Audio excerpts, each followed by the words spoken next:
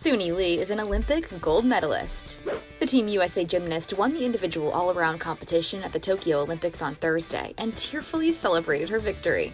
Suni's score of 57.433 was enough to edge out Brazil's powerhouse gymnast Rebeca Andrade who finished with a score of 57.298. The race was neck and neck throughout the event rotations as the women competed on the vault, uneven bars, balance beam, and finished on the floor. Suni, who nailed her routine before watching Rebeca perform on the floor, anxiously awaited as the final scores rolled in. The gymnast was overcome with emotion the moment she realized she had cinched first place and was taking home the gold medal.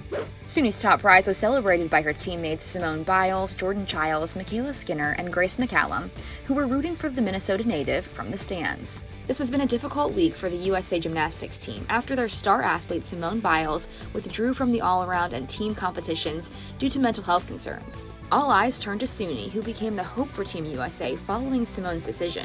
The pressure has been on the 18 year old since she was thrust into additional events during the team finals when Simone stepped away from her events mid competition. This is the first win for Suni in the Olympic Games. She took home a silver medal with her fellow American athletes during the team final. Suni's family watched on from Minnesota and joyfully celebrated her monumental win. Her sister was in awe while FaceTiming her following the victory.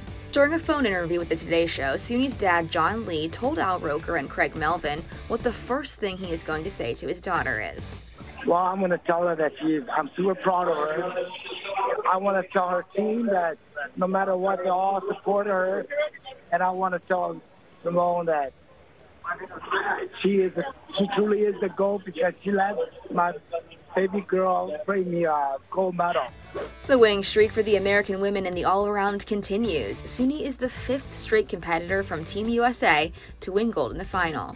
Suni isn't done competing just yet. She will compete in the individual event finals next week.